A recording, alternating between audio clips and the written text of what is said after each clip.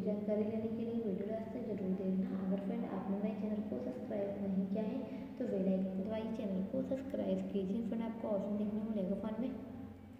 Setting setting को open करना। Open करने के बाद में इस प्रकार का ओपन होगा यहाँ पर आपको ऑप्शन देखने को मिलेगा फ़ोन में। यहाँ पर आपको साउंड पे क्लिक करना। साउंड पे क्लिक करने के बाद में इस प्रकार का इंटरफेस ओपन होगा। यहाँ पर आपको ऑप्शन देखने को मिलेगा फ़ोन में।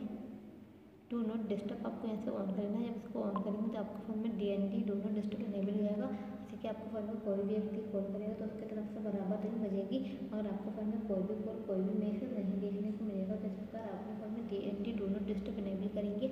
आई होप अगर आपको मेरी वीडियो अच्छी लगी हो गई तो वीडियो को शेयर करें लाइक करें